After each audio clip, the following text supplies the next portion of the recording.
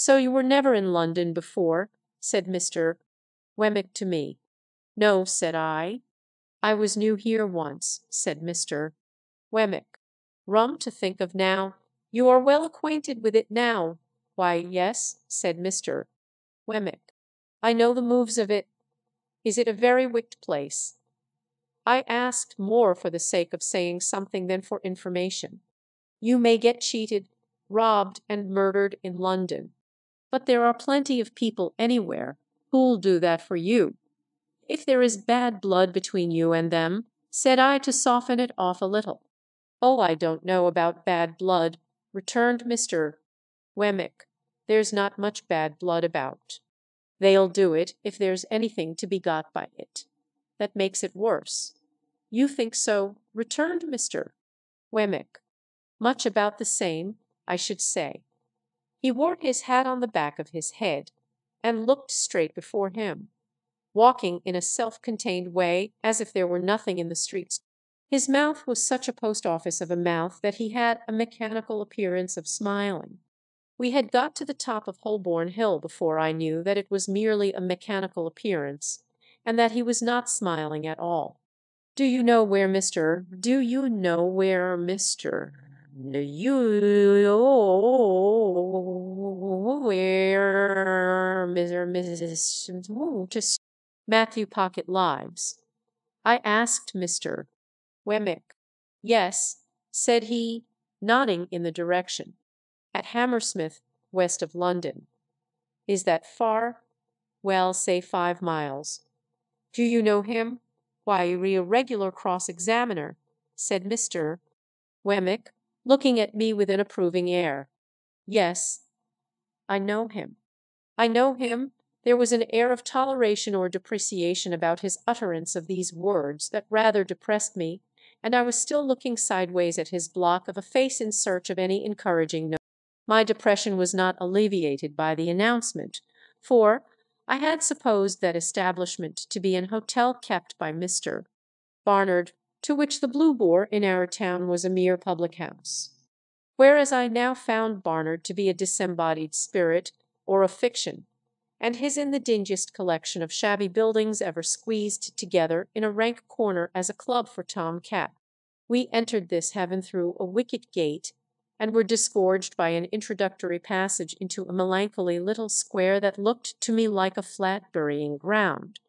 I thought it had the most dismal trees in it, and the most dismal sparrows, and the most dismal cats, and the most dismal houses in number half a dozen or so that I had ever seen. I thought the windows of the sets of chambers into which those houses were divided were in every stage of dilapidated blind and curtain, crippled flower pot, cracked glass, dusty decay. A frosy morning of soot and smoke attired this forlorn creation of Barnard, and it had strewn ashes on its head, and was undergoing penance and humiliation as a mere dust hole. Thus far my sense of sight while dry rot and wet rot, and all the silent rots that rot in neglected roof and cellar, rot of rat and mouse and bug and coaching stables. Wemmick, ah, said he, mistaking me, the retirement reminds you of the country. So it does me. He led me into a corner and conducted me up a flight of stairs, which appeared to me to be slowly collapsing into sawdust, so that one of those days the upper lodger, Mr. Mrs. Mr. Mr.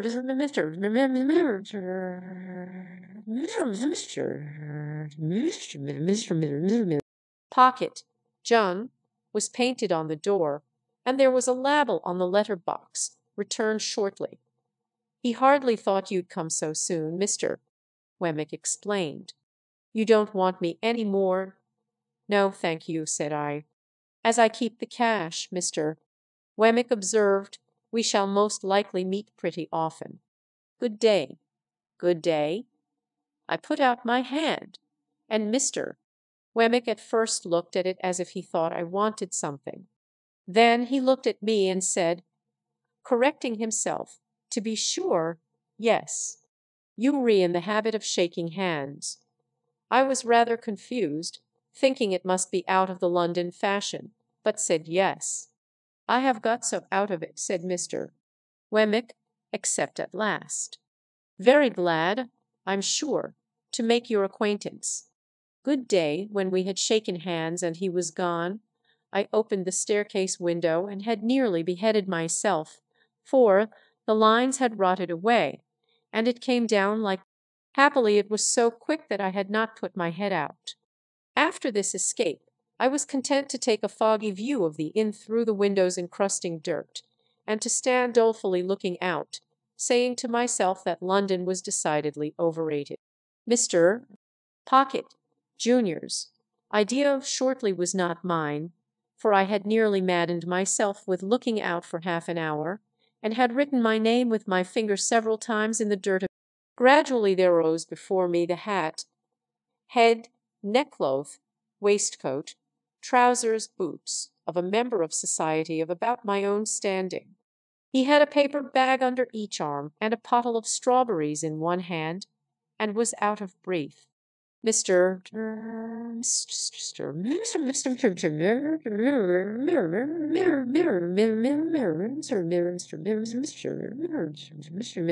Mr Pip, said he. Mr. Mr.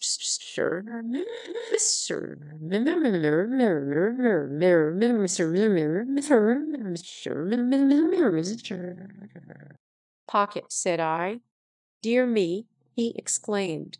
I am extremely sorry, but I knew there was a coach from your part of the country at midday, and I thought you would come by that one. The fact is I have been out on your account, not that that is any excuse, for I thought, coming from the country, you might like a little fruit after dinner, and I went to Covent Garden Mark. I acknowledged his attention incurrently, and began to think this was a dream. Dear me, said Mr. Pocket, Jr., this door sticks so. As he was fast making jam of his fruit by wrestling with the door while the paper bags were under his arms, I begged him to allow me to hold them. He relinquished them with an agreeable smile, and combated with the door as if it were a wild beast. It yielded so suddenly at last that he staggered back upon me, and I staggered back upon the opposite door, and we both laughed. But still I felt as if my eyes must start out of my head, and as if this must be a dream. "Pray come in," said Mr. Pocket, Jr. "Allow me to lead the way. I am rather bare here, but I hope you will be able to make out tolerably well till Monday. My father thought you would get on more agreeably through to morrow with me than with him, and might like to take a walk about London. I am sure I shall be very happy to show London to you.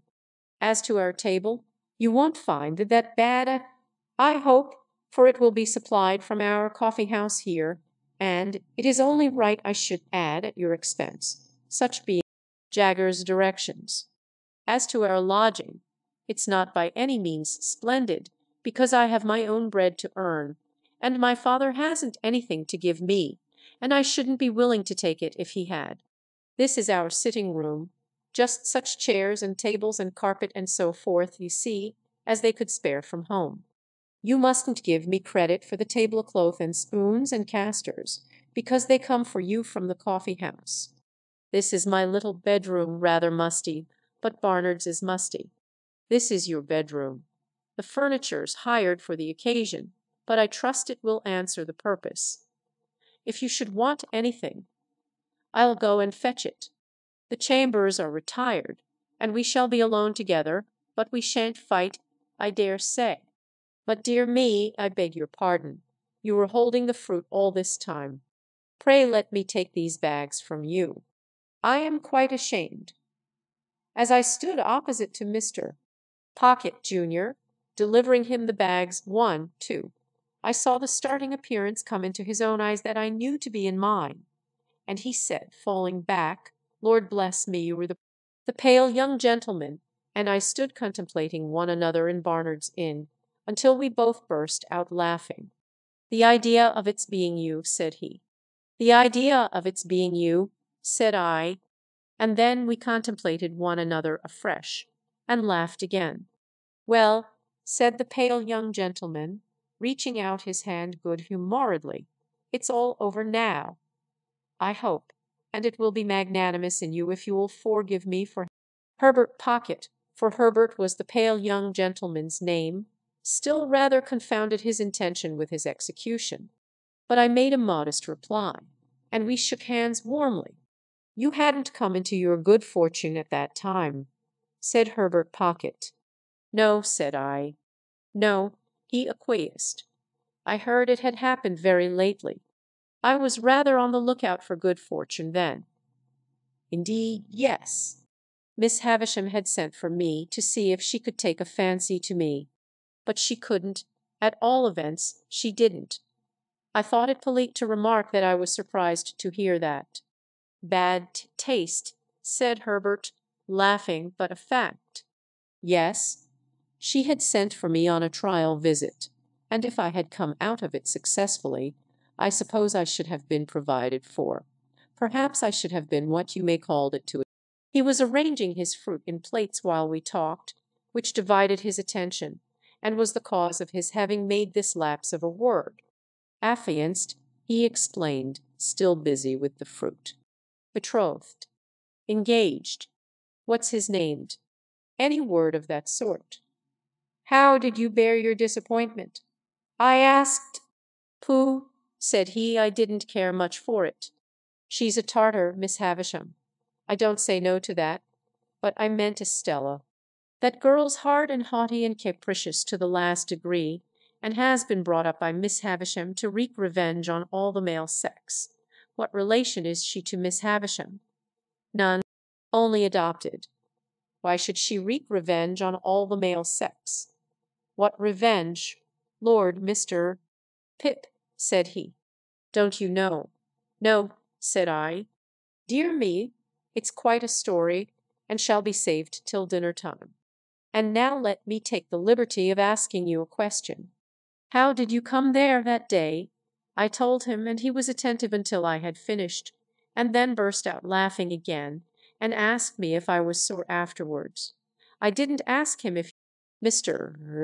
Mr. Mr. Mr. Mir Mr Mr Middle Mrs Middle Jaggers is your guardian, I understand, he went on. Yes. You know he is Miss Havisham's man of business and solicitor, and has her confidence when nobody else has. This was bringing me, I felt, towards danger. I answered with a constraint I made no attempt to disguise, that I had seen Mr. Jaggers in Miss Havisham's house on the very day of our combat, but never at any other time, and that I believed he had no recollection of having ever seen me there. He was so obliging as to suggest my father for your tutor, and he called on my father to propose it. Of course he knew about my father from his connection with Miss Havisham. My father is Miss Havisham's cousin. Not that that implies familiar intercourse between them, for he is a bad courtier and will not propitiate her. Herbert Pocket had a friend. I had never seen any one then, and I have never seen any one since, who more strongly expressed to me, in every look and tone, a natural incapacity to do anything. There was something wonderfully hopeful about his general air and something that at the same time whispered to me he would never be very successful or rich. I don't know how this was.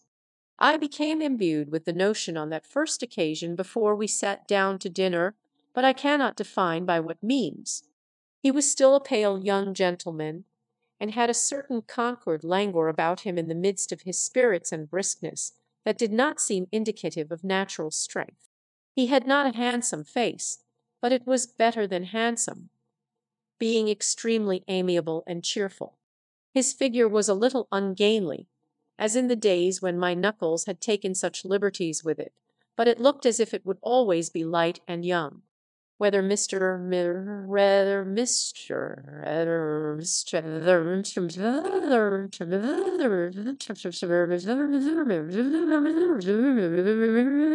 Trabb's local work would have sat more gracefully on him than on me, may be a question but I am conscious that he carried off his rather old clothes much better than I carried off my new suit.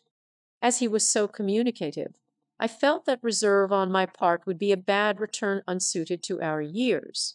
I therefore told him my small story, and laid stress on my being forbidden to inquire who my benefactor was.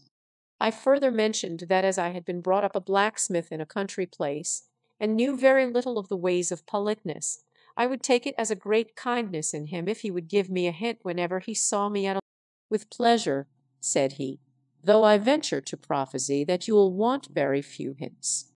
I dare say we shall be often together, and I should like to banish any needless restraint between us. Will you do me the favour to begin at once to call me by my Christian name, Herbert? I thanked him and said I would. I informed him in exchange that my Christian name was Philip. I don't take to Philip, said he, smiling, for it sounds like a moral boy out of the spelling book, who was so lazy that he fell into a pond, or so fat that he couldn't see out of his eye. I tell you what I should like. We are so harmonious, and you have been a blacksmith. Would you mind it? I shouldn't mind anything that you propose, I answered, but I don't understand you. Would you? It was a nice little dinner, seemed to me then a very Lord Mayor's feast, and it acquired additional relish from being eaten under those independent circumstances, with no old people by. This again was heightened by a certain gipsy character that set the banquet off, for while the table was, as Mr. Pumblechook might have said, the lap of luxury, being entirely furnished forth from the coffee house, the circumjacent region of sitting room was of a comparatively pastureless and shifty. All this made the feast delightful, and when the waiter was not there to watch me, my pleasure was without alloy. We had made some progress in the dinner, when I reminded Herbert of his promise to tell me about Miss Havisham. True, he replied. I'll redeem it at once. Let me introduce the topic Handel by mentioning that in London it is not the custom to put the knife in the mouth, for fear of accidents, and that while the fork is reserved for that use, it is scarcely worth mentioning, only it's as well to do as other people do. Also, the spoon is not generally used overhand, but under. This has two advantages. You get at your mouth better, which after all is the object, and you save a good deal of the attitude of opening oysters on the part of the right elbow. He offered these friendly suggestions.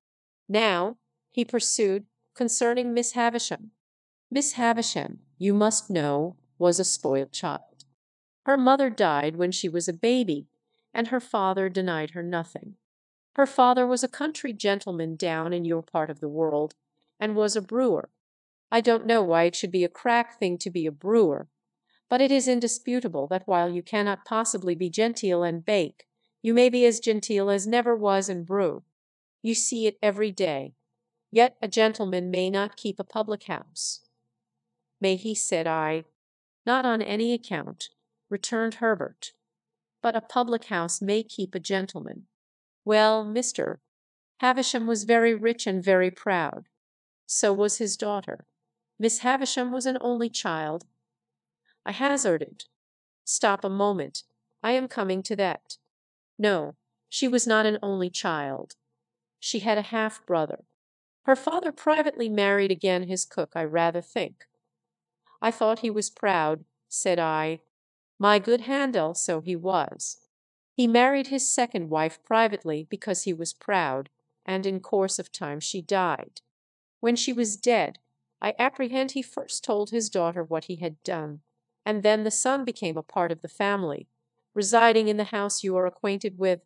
As the son grew a young man, he turned out riotous, extravagant, undutiful, altogether bad.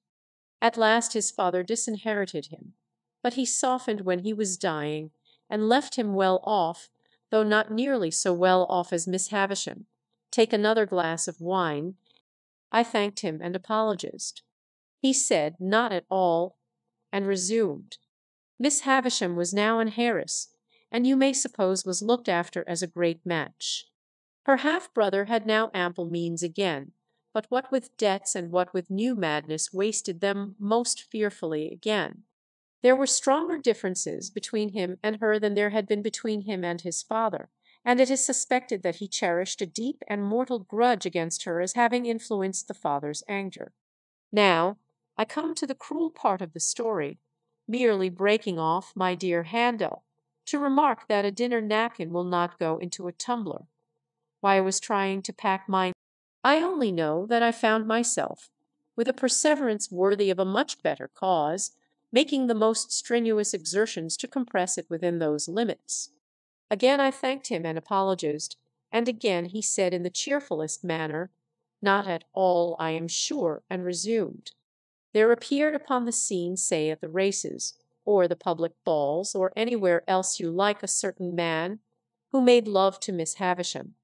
I never saw him, for this happened five and twenty years ago, before you and I were Handel, but I have heard my father mention that he was a showy man, and the kind of man for the purpose, but that he was not to be, without ignorance or prejudice, mistaken for a gentleman, my father most strongly asseverates because it is a principle of his that no man who was not a true he says no varnish can hide the grain of the wood, and that the more varnish you put on, the more the grain will express itself.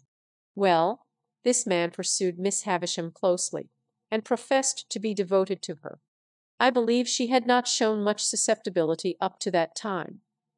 But all the susceptibility she possessed certainly came out then, and she passionately loved him. There is no doubt that she perfectly idolized him. He practised on her affection in that systematic way that he got great sums of money from her, and he induced her to buy her brother out of a share in the brewery which had been weakly left him. Your guardian was not at that time in Miss Havisham's counsels, and she was too haughty and too much in love to be advised by any one. Her relations were poor and scheming, with the exception of my father. He was poor enough but not time-serving or jealous.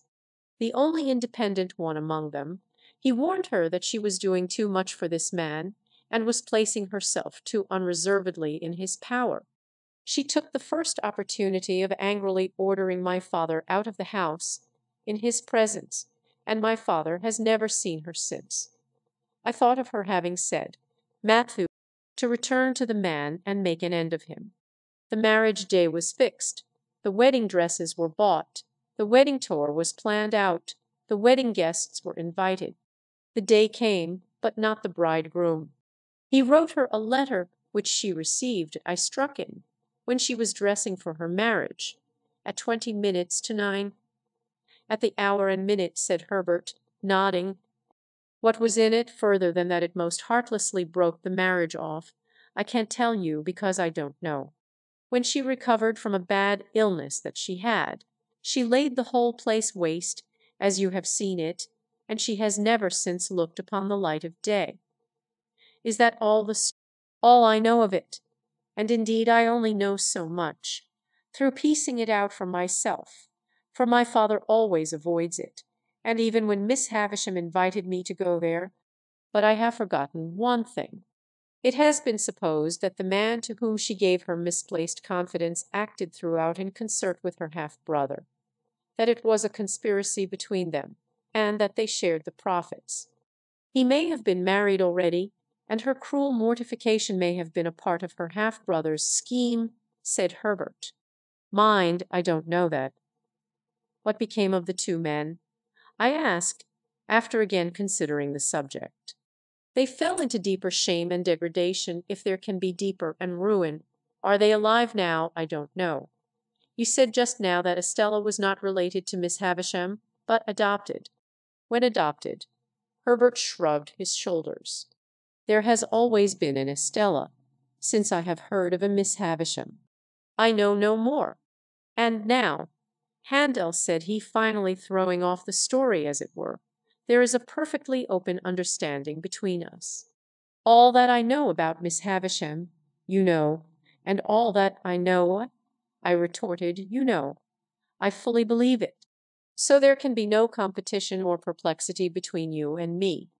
And as to the condition on which you hold your advancement in life, namely, that you are not to inquire or discuss to whom you owe it, you may be very sure that it will never be encroached upon. Yet he said it with so much meaning, too, that I felt he as perfectly understood Miss Havisham to be my benefactress, as I understood the fact myself. It had not occurred to me before, that he had led up to the theme for the purpose of clearing it out of our way, but we were so much the lighter and easier for having broached it, that I now perceived we were very gay and sociable, and I asked him, in the course of conversation, what he was. He replied, a capitalist an insurer of ships. But again there came upon me, for my relief, that odd impression that Herbert Pocket would never be very successful or rich. I shall not rest satisfied with merely employing my capital in insuring ships. I shall buy up some good life assurance shares, and cut into the direction. I shall also do a little in the mining way. None of these things will interfere with my chartering a few thousand tons on my own account. I think I shall trade, said he, leaning back in his chair, to the East Indies for silks, shawls, spices, dyes, drugs, and precious woods. It's an interesting trade. And the profits are large, said I. Tremendous, said he. I wavered again, and began to think here were greater expectations than my own. Illustration I think I shall trade, also, said he, putting his thumbs in his waistcoat pockets, to the West Indies for sugar tobacco, and rum; also to Ceylon, especially for elephants' tusks. You will want a good many ships, said I. A perfect fleet, said he.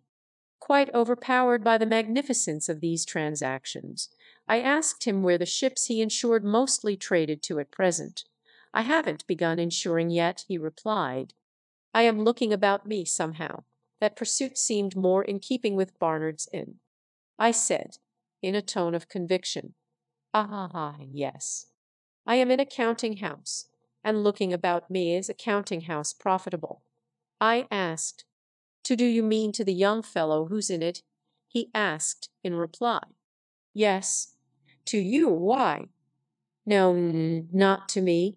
He said this with the air of one carefully reckoning up and striking a balance. Not directly profitable. That is, it doesn't pay me anything and I have to keep myself. This certainly had not a profitable appearance, and I shook my head as if I would imply that it would be difficult to lay by much accumulation. But the thing is, said Herbert Pocket, that you look about you.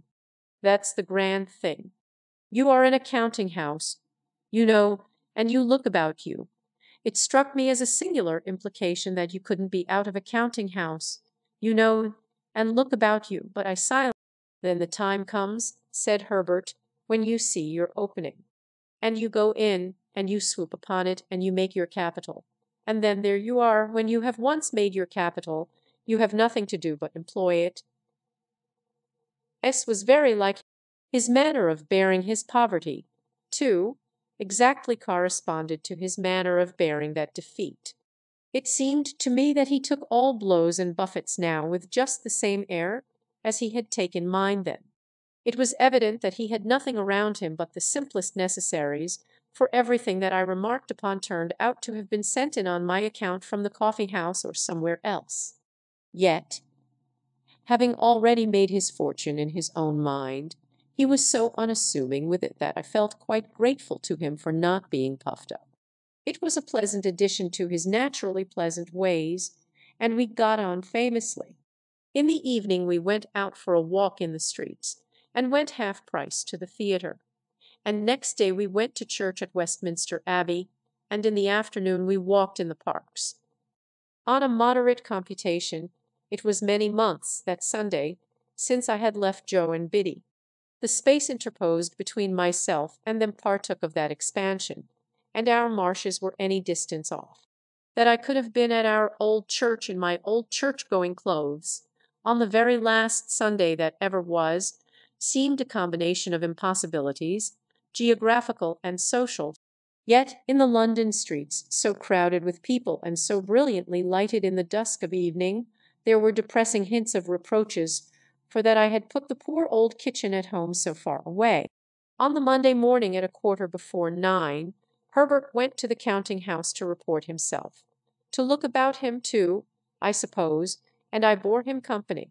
He was to come away in an hour or two to attend me to Hammersmith, and I was to wait about for him. It appeared to me that the eggs from which young insurers were hatched were incubated in dust and heat, like the eggs of ostriches, judging from the places to which those incipient giants repaired on a Monday.